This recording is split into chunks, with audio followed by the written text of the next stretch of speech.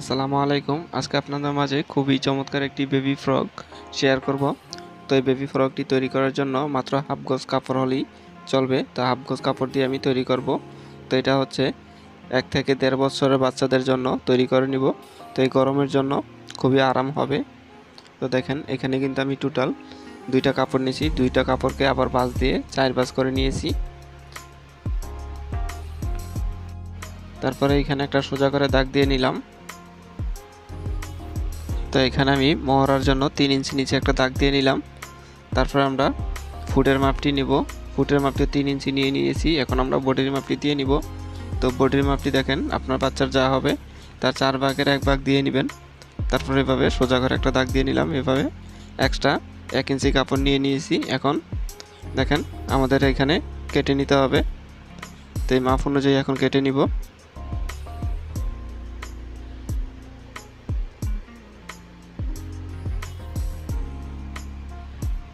তো দেখেন, আমাদের কিন্তু কাটিং করা হয়ে গেল। তো দেখেন, গলা চড়াটি আমি ফোনে দুই ইঞ্চি নিয়েছি। দুই ইঞ্চি থেকে আরও দুই সুতা কম। এখন আমাদের গলার লাম্বার মাপটি দিয়ে নিতে হবে, আড়াই ইঞ্চি। তো দেখেন, আমি আড়াই ইঞ্চিতে একটা দাগ দিয়ে নিলাম। তো এখন এখানে আমাদের গোল রাউন্ড করে দিব। তো দেখেন, এখন গলাটি কাটিং করে নিব।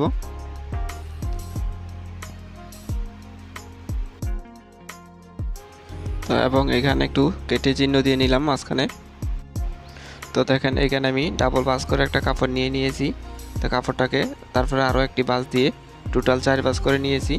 তো এখানে দেখেন আমাদের বডি হচ্ছে এখানে পাঁচ ইঞ্চি, ঠিক আছে? পাঁচ ইঞ্চি আছে। তো এখানে আমরা দশ ইঞ্চি কাপড়টা নিয়ে নিয়েছি, আরও পাঁচ ইঞ্চি বেশি নিয়েছি, ঠিক আছে? তো আরও ডাবল নিয়ে নিয়েছি যাতে আমাদের কুচিটা একটু বেশি হয়। তো আপনারা চাইলে আরও বেশি বা কম দিয়ে নিতে পারেন, সমস্যা নেই। তো দেখেন, এখন আমাদের এখানে আমরা হাফ বডিটা নিয়েছি ছয় ইঞ্চি, ঠিক আছে? তো এখন আমাদের এই দাগ থেকে ছয় ইঞ্চি ফিতাটা মাইনাস করে আমাদের লাম্বার মাপটি দিয়ে নিতে হবে। তো লাম্বাটি হচ্ছে আমাদের পনেরো ইঞ্চি। তো দেখেন, পনেরো ইঞ্চিতে দাগ দিয়ে নিলাম এবং আরও এক ইঞ্চি এক্সট্রা কাপড় নিয়ে নিয়েছি। এখন দাগগুলো সোজা করে দিয়ে নিব। দাগগুলো দেওয়া হয়ে গেলে এখন আমাদের কাটিং করে নিতে হবে।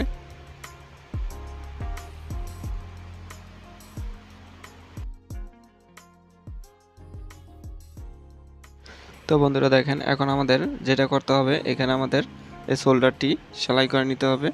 তো এখানে শোল্ডারটি আমরা জয়েন করে নিব।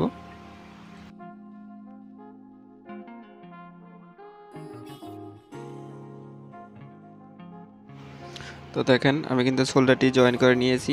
তো অবশ্যই এখানে ডাবল সেলাই দিয়ে নেবেন। তারপরে দেখেন এইখানে এখানে এইভাবে নখ দিয়ে একটু কাপড়টাকে দুই বাজে বাস করে দিতে হবে। তো দেখেন, এখন আমাদের একটা সাইডে যে কোনো একটা পার্টে আমাদের এখানে এখানে আমাদের বুতামের একটি ঘর হবে। তো এখানে আমরা দুই ইঞ্চি পরিমাণ বুতামের ঘরটা বানাবো, দুই ইঞ্চি পরিমাণ, ঠিক আছে? তো এখন উপরে একটা ছোট একটা কাপড় রেখে সমান মাঝখানে একটা আমি সেলাই দিয়ে নিতেছি। দেখেন, তো এইভাবে সেলাই দিয়ে প্রথমে ঘুরিয়ে নিব, তারপর আবার সোজা করে সেলাইটা দিয়ে নিব। তো এখন আমাদের সেলাই করা হয়ে গেছে, এখন আমরা মাছ বরাবর কেটে নিব। দেখেন, এখানে আমরা মাছ বরাবর কেটে নিলাম। তো এখন এভাবে নখ দিয়ে বাস দিয়ে কাপড়টাকে উল্টিয়ে আমরা উল্টা সাইডে নিয়ে যাব। তো দেখেন আমি কিন্তু উল্টা সাইডে নিয়ে আসলাম। তো এখন আমি এখানে একটা চাপ সেলাই দিয়ে নিব।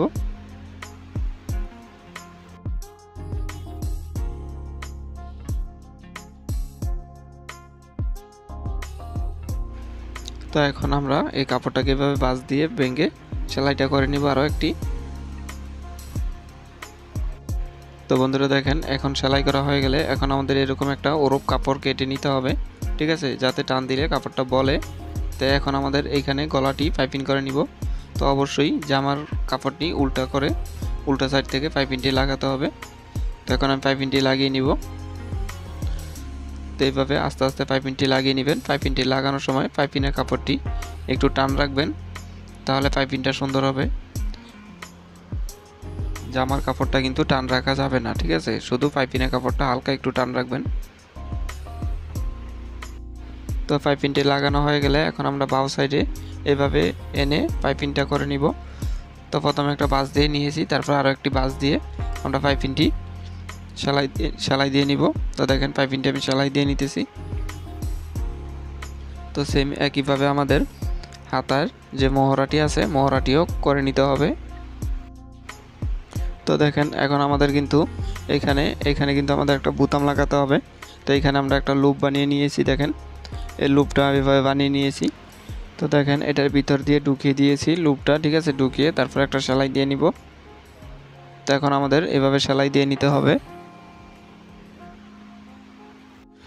তো বন্ধুরা, দেখেন, আমি কিন্তু লুপটা লাগিয়ে নিলাম। তো এখানে আমাদের হাতাটি কিন্তু, ঠিক আছে? পাইপিং করে নিতে হবে এইভাবে গলায় যেভাবে আমরা করছি। সেম একইভাবে করে নিতে হবে হাতায়ও। তো দেখেন, আমি কিন্তু হাতায়ও করে নিয়েছি সেম একই নিয়মে। তো এখন আমাদের যেটা করতে হবে, এখানে যে কাপড়টা আছে দেখেন, এখানে যে আমরা নিচের রাউন্ডের কাপড়টি আছে, ঠিক আছে? এই কাপড়টি এখন আমাদের এইটার সাথে কুচি দিয়ে নিতে হবে। তো দেখেন, এখন আমাদের এখানে কুচি দিয়ে নিব।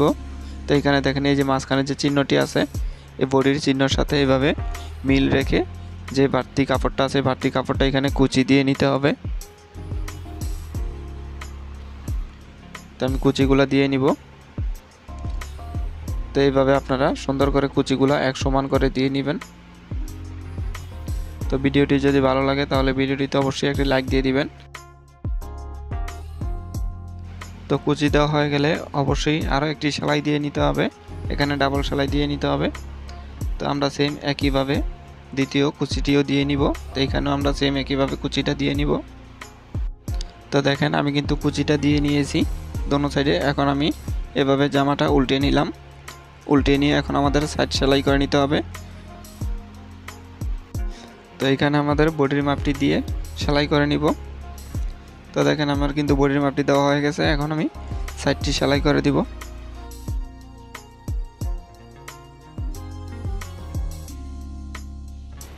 তো এই সাইডে অবশ্যই ডাবল সেলাই দিয়ে নিতে হবে। তো দোনো সাইডেই অবশ্যই ডাবল করে সেলাই দিয়ে নেবেন। তো দেখেন আমি সাইড সেলাই করে নিয়েছি। তো তারপরে আমাদের নিচটা সেলাই করে নিতে হবে।